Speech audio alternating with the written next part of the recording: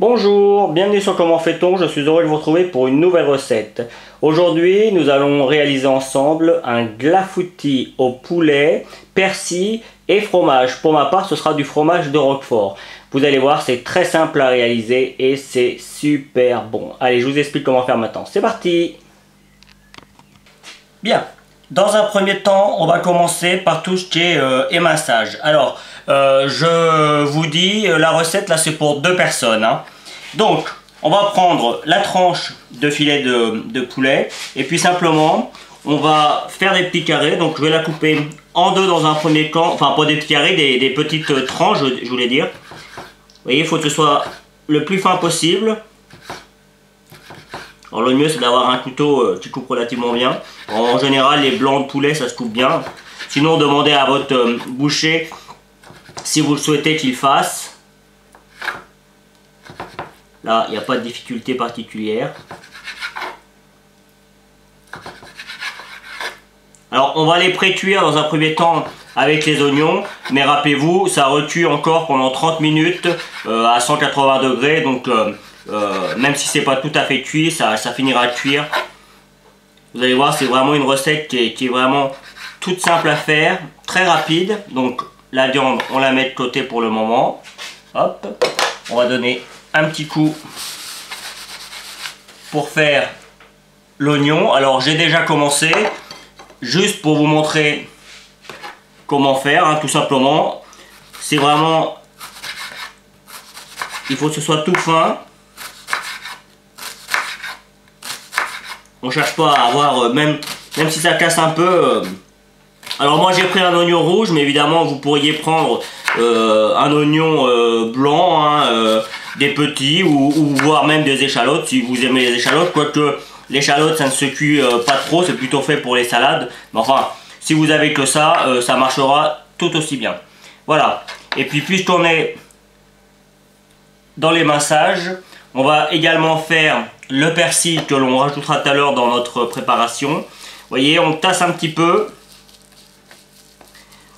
alors pareil pour le persil, hein, vous pourriez mettre euh, une autre herbe si vous n'aimez pas le persil. Euh, vous pouvez mettre de la ciboulette, euh, enfin bref, les idées, vous pouvez même ne, pas mettre d'herbe. C'est vraiment un choix. Vous voyez, une fois que c'est bien tassé, il suffit juste de donner un petit coup comme ça. Et voilà, ça c'est tout seul.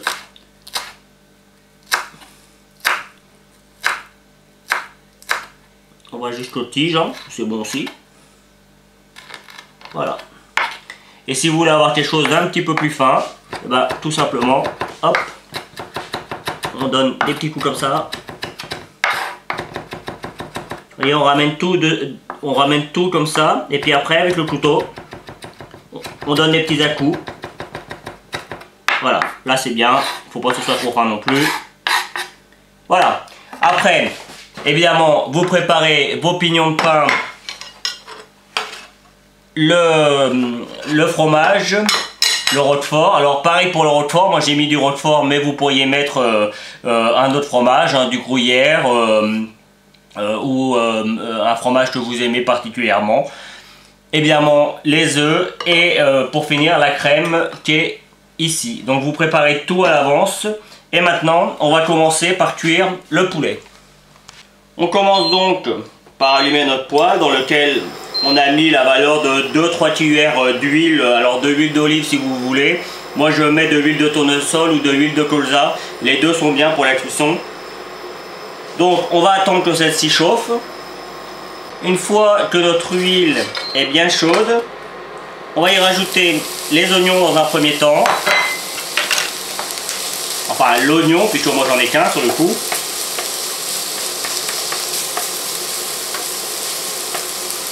Et là, il y a un petit oignon, on va l'enlever, ça va pas être bon. Hop, voilà. On rajoute assez rapidement la viande. Vous voyez, on essaie de la détacher.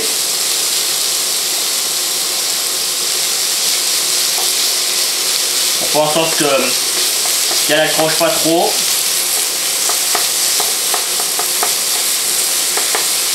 On tue à feu doux. Hein.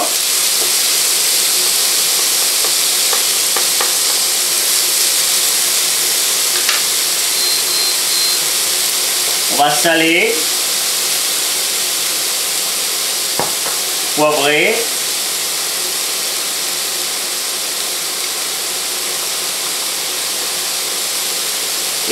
J'aime bien rajouter ma petite touche personnelle, un petit peu de piment d'Espelette, un petit peu parce que c'est fort.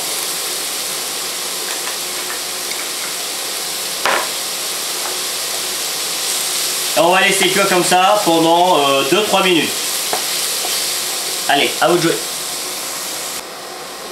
Vous voyez, les blancs de poulet sont maintenant, euh, on voit qu'ils sont euh, pré-cuits. On voit plus la couleur de la peau, ou presque pas. Les oignons, on voit bien qu'ils sont un petit peu translucides. Donc, c'est parfait. On va pouvoir arrêter la cuisson. On va maintenant préparer l'appareil, justement. C'est comme ça ça s'appelle un peu dans le même principe euh, qu'une quiche. On va battre un petit peu les œufs. Alors si vous avez un fouet, vous le faites avec un fouet, mais avec une marise, ça marche très bien. Voilà. On va rajouter la crème.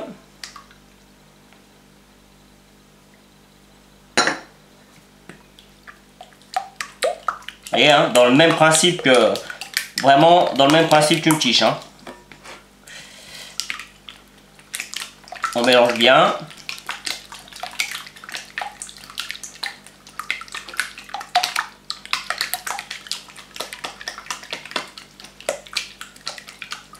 Alors, vous allez dire pourquoi euh, un jaune d'œuf euh, Simplement, c'est pour donner un petit peu plus de consistance à la préparation. Puis un petit peu plus d'onctuosité également. Voilà. On va saler la préparation et poivrer avant de mettre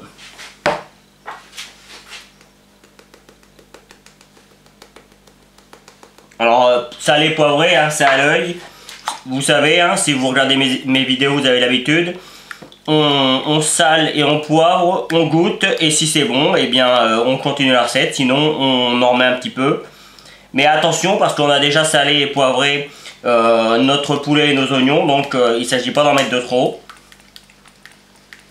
moi je suis partisan de ne pas mettre trop de sel. Il n'en faut, mais euh, faut pas en abuser, c'est pas très bon pour la santé. Alors, maintenant, on va rajouter notre persil.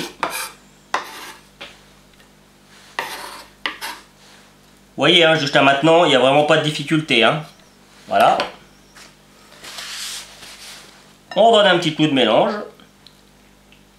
Et on n'a plus qu'à faire le montage. Alors, avant de faire le montage, vous préchauffez votre four à 180 degrés. Voilà, on n'a plus qu'à faire le montage. Bien, Perso, j'ai pris euh, un moule euh, à entremer euh, sur lequel j'ai mis du papier alu que j'ai recourbé un petit peu pour que ça tienne, pour avoir quelque chose un petit peu haut, pour que ce soit agréable à manger, puis pour que je puisse le démouler également pour vous montrer comment c'est. Enfin, j'essaierai de le démouler parce que ça reste un glafoutis, donc c'est pas c'est pas forcément simple. et puis on va commencer la préparation. Donc simplement, on va mettre nos oignons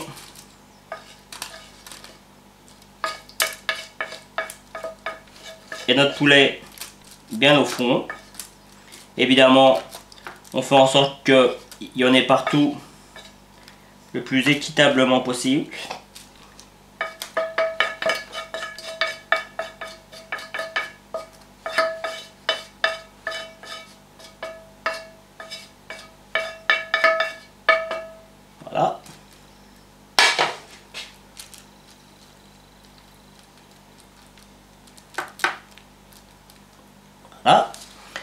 On va rajouter maintenant le fromage que l'on aura euh, égrené un petit peu avec une fourchette ou avec un couteau juste avant.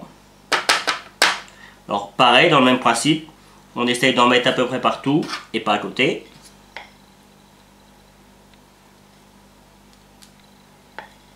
Alors le fromage de Roquefort, ça va apporter euh, euh, un goût supplémentaire, une puissance supplémentaire. Mais bon, tout le monde n'aime pas ça, donc encore, je le redis, vous pouvez très bien mettre euh, euh, du fromage plus doux, comme le gruyère par exemple. Ça marchera très bien également. Voilà. C'est fait. On va rajouter nos graines de pain. Pour être plus précis, des pignons de pain.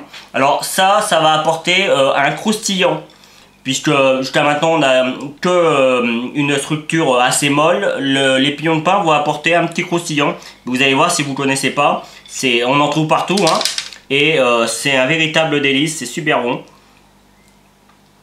Ça donne euh, un, petit goût supplémentaire à votre préparation et un petit croquant et franchement c'est à découvrir parce que c'est très très bon.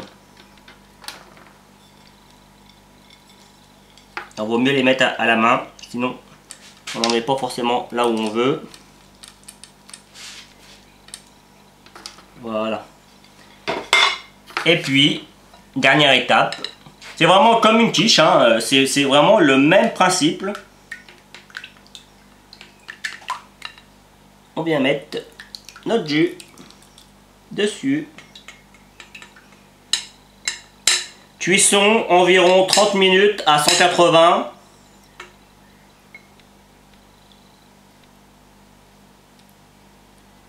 Mais de toute façon, euh, vous verrez parce que euh, ça va gratiner un petit peu. Donc, euh, vous allez voir assez vite quand ce sera cuit. Allez, c'est parti pour la cuisson. La cuisson est maintenant terminée. Comme vous pouvez le constater, on voit bien en dessous les blancs de poulet. On voit bien également les pignons, le persil. Et puis euh, là, on voit que la pâte euh, euh, a une couleur un petit peu verdâtre, ce qui fait que le fromage a fondu tranquillement. Et là, pareil, vous voyez, on a quelque chose de, de très moelleux. je vous garantis, j'ai qu'une envie, moi, c'est de le déguster. J'espère que cette nouvelle recette qui, euh, vous l'avez constaté, est très facile à réaliser et vous plaira. J'ai pris beaucoup de plaisir à la réaliser pour vous. A bientôt sur Comment fait-on?